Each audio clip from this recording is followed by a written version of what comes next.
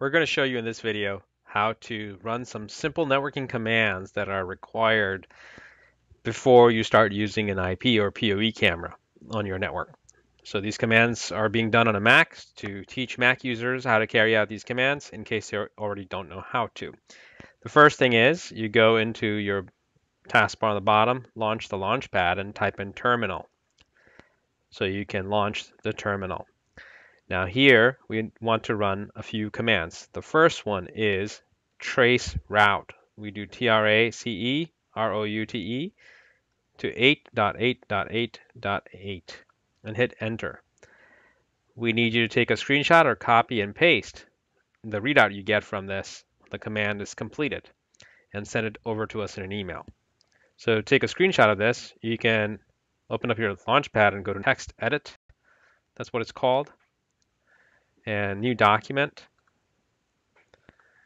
And it takes a little while for this command to complete. You'll have to wait until it completes like so. You get your command prompt back again here. So you can copy this from the beginning of the command, right click, copy, go back into here, click paste.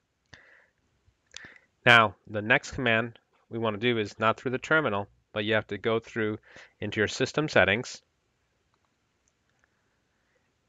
and go to network, click on your Wi-Fi if you're on a MacBook. And if you're on a desktop Mac, you'll have to find your network adapter. And then from there, click on details next to your network connection. Define your IP address and your router. We need a screenshot of these two. You could also just try to type it in by typing in like this. So this is the IP address that is assigned to your laptop. And this is the router's IP address. Okay. Now once you know your IP address here if you are connected to a Wi-Fi router that also has wired network ports, then your camera that you're purchasing from us is also going to connect to the same router, same network. We need to give it an IP address. An IP address has four octets. The first three numbers are the first octet. The second three numbers are the second octet. And then in the third octet, we just have one number. In the fourth octet, we have a single number as well. So the IP addresses on the same network change only in the last octet. They go from 1, which is for your router, up to 254. So in your case, or in, or in my case, if my IP address or scheme, IP address scheme is 192.168.1, the next number could be dot .6, so I'm going to try that, and you can see if something is on that IP address by typing the ping command and then that IP address, you want to see if something's on there. And if it comes out request timed out, meaning there's nothing else that exists on that IP address.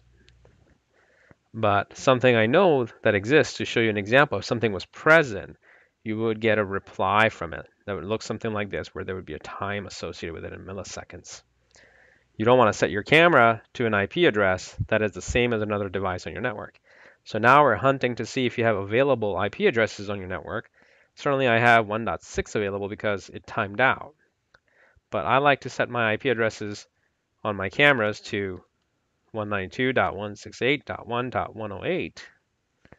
I want to see if that comes out. It says request timed out. That means it's available. There's nothing present on the network to reply back to this command. So the timeout is actually good for me. So I can set my camera to this. So running these three commands uh, helps us know exactly what is your network environment and what IP address to set your camera to.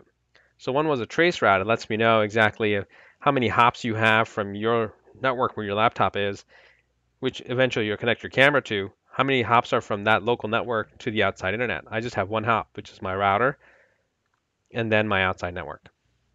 Second was finding the IP address scheme of my network, and then finding an available IP address to go along with that uh, IP address scheme. Hopefully you found this video useful. Thanks for watching. If you're watching on YouTube, don't forget to like, comment, and subscribe.